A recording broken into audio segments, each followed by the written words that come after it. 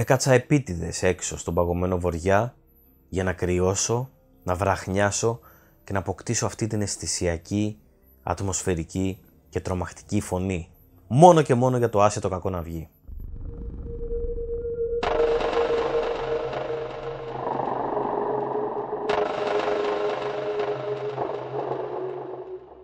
Και σήμερα θα ξεκινήσω με λίγο Γκράχα Μάστερτον, τον Σκοτσέζο συγγραφέα τρόμου και νούμερο 4 στη λίστα των δικών μου προσωπικά αγαπημένων συγγραφέων τρόμου. Δεν είμαι απλά χαρούμενος, είμαι ενθουσιασμένος γιατί εμένα μου αρέσει να διαβάζω κυρίως στα ελληνικά. Είχα διαβάσει ό,τι υπήρχε από Μάστερτον και ξαφνικά οι εκδόσεις οξύ σκάβουν στο χρόνο και φέρνουν αυτή τη βιβλιάρα από το 1981 Τα πηγάδια της Κολάσεως. Ήταν η εποχή που ο Μάστερτον έγραφε βιβλία τρόμου αντίστοιχα με B-movies.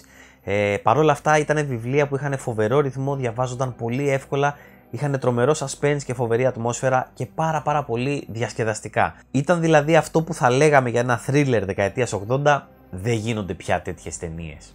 Η υπόθεση του βιβλίου είναι η εξής: σε μια μικρή πόλη του Connecticut, στην οποία δεν συμβαίνει ποτέ τίποτα, μέσα σε ένα βράδυ όλα τα πηγάδια μολύνονται, το νερό κυτρινίζει και μυρίζει απέσια. Ένα αγόρι πεθαίνει, οι γονείς του ξαφνικά εξαφανίζονται, όλοι στην πόλη αρχίζουν και ψιθυρίζουν ότι έχει πέσει μια κατάρα πάνω τους και ότι υπάρχει μια αρχαία σκοτεινή δύναμη που υπογείως θέλει να ξυπνήσει και να τους πάρει τις ψυχές. Και εκτός από όλα αυτά, μέσα στο σκοτάδι παραμονεύουν πλάσματα. Πλάσματα που μόνο ανθρώπινα δεν είναι.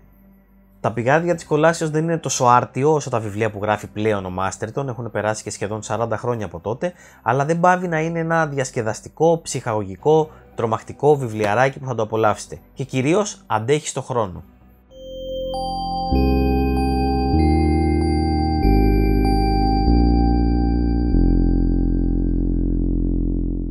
Λένε ότι ο ορισμός της κομμωδίας είναι τραγωδία συγχρόνως. Άλλοι λένε ότι ο τρόμος και η κομμωδία είναι αδέλφια. Κάποιοι ίσως πούν, αφού είπε ότι θα μιλάει για βιβλία τρόμου και άλλα παράξενα βιβλία, τι δουλειά έχει εδώ ένα τετράδιο κομμωδίας; Η απάντηση είναι απλή, ξεκάθαρη και αναμενόμενη.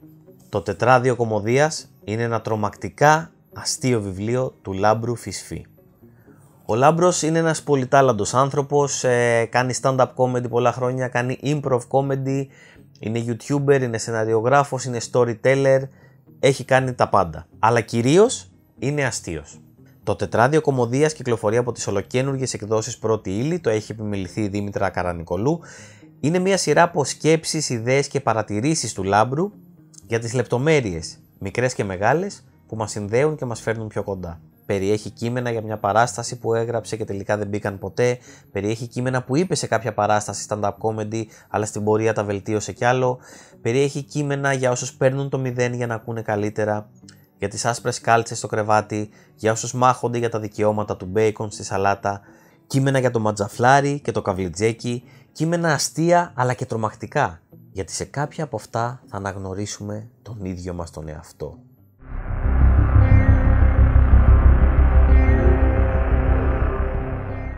Υπενθυμίζει ότι εξακολουθεί και τρέχει ο διαγωνισμός από τις εκδόσεις Οξύ σε Instagram και Facebook για 50 αντίτυπα του Hellraiser.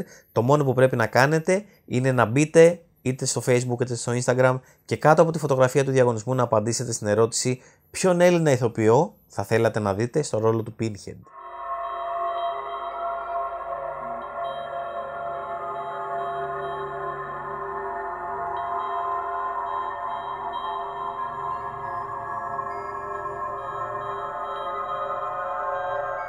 Και μετά από ένα κομικό βιβλίο που είναι τρομακτικά αληθινό, θα σας πω για ένα βιβλίο τρόμου που είναι αληθινά αστείο. Το Στίγμα είναι ένα βιβλίο του Άγγλου συγγραφέα Trevor Hoyle και κυκλοφορεί φυσικά από την αγαπημένη μας βιβλιοθήκη του τρόμου.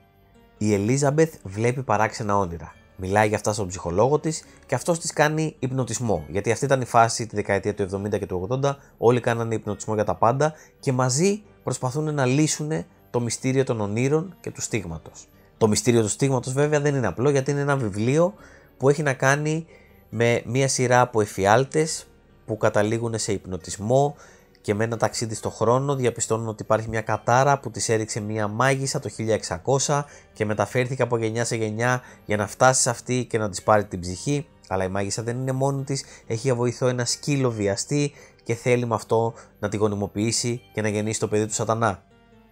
Και δεν τελειώσαμε γιατί η επίθεση της μάγισσας ξεκινάει κάποια στιγμή που πιστεύει ότι ο Θεός πέθανε για κάποιο λόγο, επιτίθεται στη φίλη της Ελίζαμπεθ, της παίρνει την ψυχή, μεταμορφώνει το σκύλο σε ένα μωρό με τεράστια γεννητικά όργανα για να τη γονιμοποιήσει, αλλά ο σκύλος μωρό τελευταία στιγμή στρέφεται εναντίον της μάγισσας, της επιτίθεται, ο ψυχολόγος την υπνοτίζει και τη μεταφέρει πίσω στο χρόνο στο 1612 όπου και την κρεμάνε.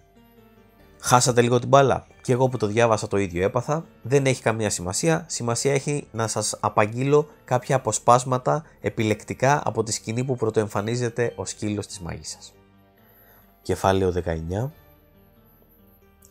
Τότε κατάλαβε πως δεν ήταν μόνη της μέσα στο δωμάτιο. Με το αχνό φως της λάμπας διέκρινε το σχήμα ενός μεγαλόσωμου μαύρου σκύλου που τα μαύρα υγρά ρουθούνια του ξεχώριζαν μέσα στο μισοσκόταδο. Τα σαγόνια του ήταν ανοιγμένα και στα μαύρα του χείλη διαγραφόταν ένα κοροϊδευτικό χαμόγελο. Ήρθε και στάθηκε μπροστά της, ενώ εξακολουθούσε να της χαμογελά ύπουλα και χιδέα. Όλα αυτά είναι συναισθήματα που όλοι μπορούμε να διακρίνουμε στο χαμόγελο ενός σκύλου. Η Πετρίνα στεκόταν ακίνητη σαν πέτρα. Στα αυτιά της ήρθε η ανάσα του σκύλου που έβγαινε βαριά από τα ρουθούνια του και αυτό της διέλυσε κάθε αμφιβολία. Ό,τι αντίκριζε ήταν πραγματικότητα. Ο σκύλος καθόταν εκεί και γελούσε με μοχθηρία. Η σκληρή μαύρη μουσούδα του πίεσε τα γενετικά της όργανα και άρχισε να τη μυρίζει. Ο σκύλος σήκωσε το κεφάλι του για να τη δει καλύτερα και τότε για πρώτη φορά είδε την πανουργία και τη διαβολικότητα να καθρεφτίζεται στα μάτια του. Ήταν ένα πλάσμα που είχε τη μορφή σκύλου, αλλά η έκφρασή του ήταν ανθρώπινη. Ύστερα της μίλησε. «Ξέρεις γιατί είμαι εδώ, έτσι δεν είναι» «Ουφ» της είπε λαχανιάζοντας και γελώντας σαρκαστικά. «Θα έρθουμε σε συνουσία. Θα είναι καλύτερα με μένα παρά με άντρα. Θα δεις πως θα σου αρέσει πιο πολύ. Μπορεί βέβαια και να πεθάνεις, όμως θα σου αρέσει πολύ. Δεν γράφονται πια τέτοια βιβλία.